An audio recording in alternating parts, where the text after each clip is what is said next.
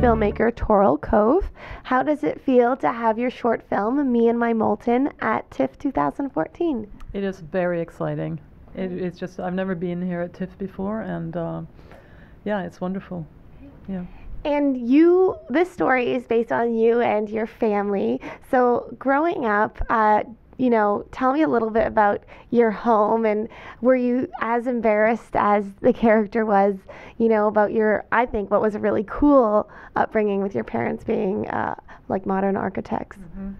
I think one of the reasons that this is now a film and a story that I decided to write was because as I grew older, I realized that my parents were incredibly hip. Yeah. I mean, they were so cool. yeah. And, uh, great parents. Uh, but I think when I was little, I felt not so much like that. I felt that they were really, I really did wish that they were more like other parents. And it wasn't really that they were that different. I think it was just that they had this they were very um, concerned with projecting something uh, that was uh, modern and uh, something that had broken with the past and something that was kind of uniquely them. Mm-hmm. I don't. I think it was partly because they were modernist architects, you know, in the 50s, early 60s. But I think it. I think it was probably other reasons too. Mm-hmm. I think they probably carried with them some kind of baggage from their families that made them feel like, you know, we want to create something that's completely different. Um, and uh, they didn't ask us, you know, about that, of course.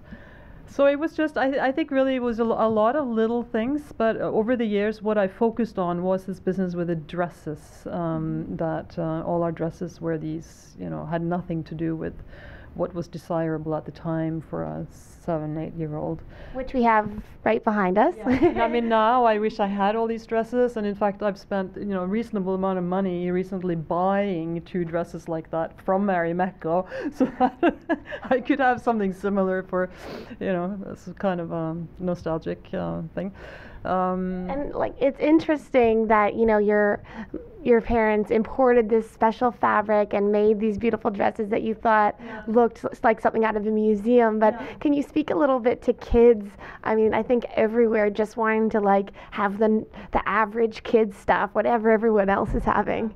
No, and I mean if you look at if you look at I mean if you stand outside a schoolyard now and look in, they're all wearing the same. Yeah. You know, they're all wearing the same clothes, and every now and then you you'll see somebody who who sticks out. But basically, I think it's like a you know like a some kind of a mob group mentality that for kids that you just there's security in fitting in. Mm-hmm. You know, mm-hmm. then you don't have to explain yourself. Mm-hmm. Um, and uh, it's not like we got teased about it or anything like that.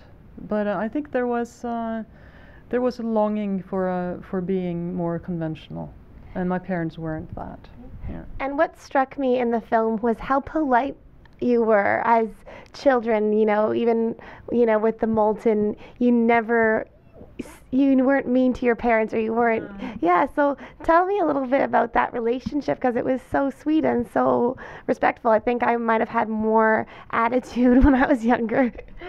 Yeah we didn't uh, we and but you know what? We were like that with all these things and i, I shouldn't project what my sisters were doing but i always I felt very protective of my parents, and, I, and I'm really interested in this uh, from a sort of psychological point of view. This care that some kids will take in protecting their parents from disappointment, um, I mean, I see it in my own daughter now that, that she knows when I expect her to react a certain way with a certain amount of gratitude and stuff like that, you know. So, it's um, I just find I just find that fascinating how that there's a kind of a power uh, imbalance between people who give and people who receive. I think it's a very delicate kind of dance that people do. Mm-hmm. The the giver is the generous one, and the receiver is always the grateful one. And somehow these, you know, you have to meet. And I think that if you deep down don't feel grateful or happy about the gift that you have received, it's kind of your job to fake it. You know, I mean, we've all been there, haven't yeah, we? Absolutely. Yeah, we have. And I think kids. Thank you. I think kids know that, and you do this to not hurt the other person's feeling. You know, and I really felt that with my parents. I think deep inside, I had this awareness that they were trying so hard to to be, you know, the best that they could be, and I was not going to let them down. You know. And at what point in your life did you transition from, you know, wanting what all the other kids have to seeing them as like because they are super cool. So at what point did you see them as hip as they are? I don't know, a few years ago. you know, fairly recently. I, I think maybe when I don't I don't know. I think probably when I was in my 30s. I think I think it took a while. You know. Absolutely. Yeah. And there's also a sideline with uh, your neighbors as well. Uh, tell me a little bit about striking the balance between, you know, having this film based on your own life and then also fictionalizing aspects of it. And as a filmmaker how you know that can be challenging at times. That was uh, in fact with this story it was really challenging because i had thought i wanted to be as true as possible with my family what happens in the upstairs in this building in this house I, I, I, kind of felt like I needed the downstairs as a kind of a, a contrast to uh, illustrate what I wanted to illustrate but um, but uh, what what actually happened in that family was very I mean it was very tragic. The father actually died. He mm. died and he could not have been more than I mean he must have been in his earlier mid 30s or something like that.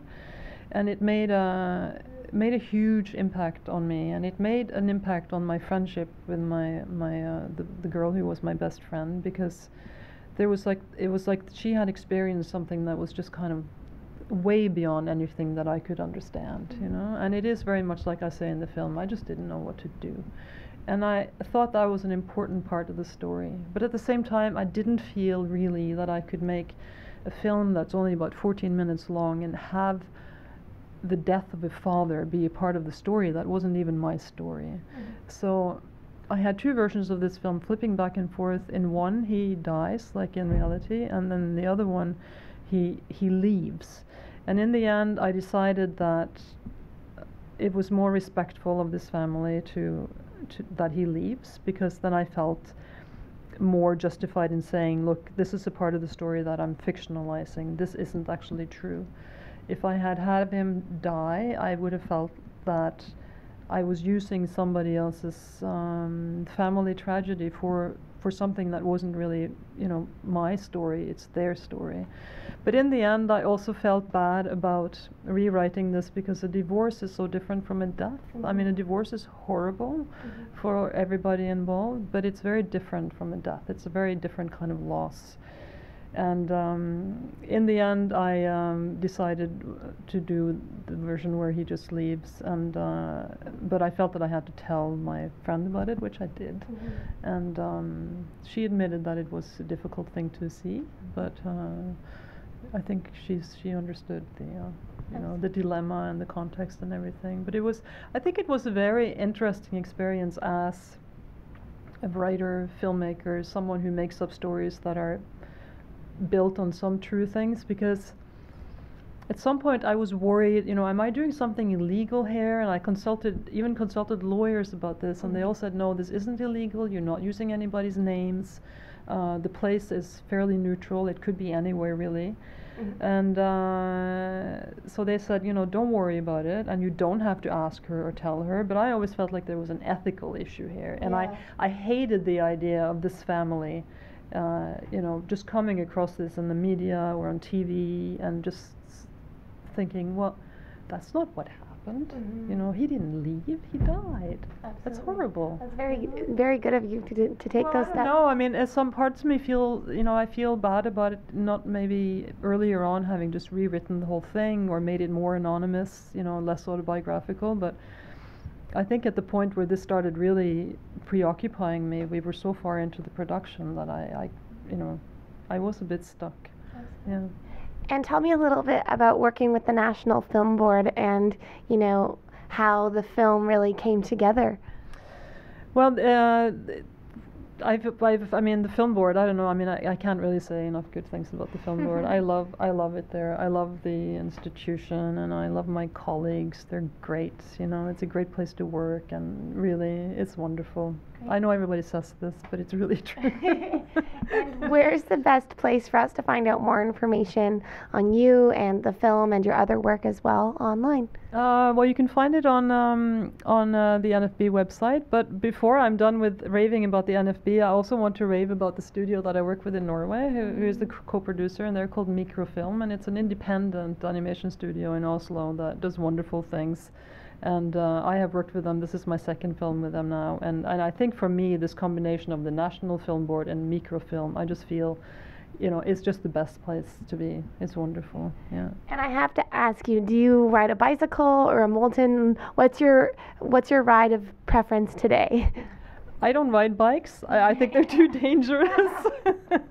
I, I bought a bike a few years ago and I think I used it once. I live in Montreal and I, you know, biked around the streets there and I was just like a nervous wreck at the end of the day. Yeah. And I thought, this is it. I'm walking or taking the bus, you know, no biking for me. I bike in Norway. They have a better bike path system, Great. but not here. Okay. well, thank you so much. Congratulations. The film is wonderful and have a great TIFF. Thank you very much. Thank you. I'm Katie Uhlmann reporting for Katie Chats at the National Film Board in downtown Toronto.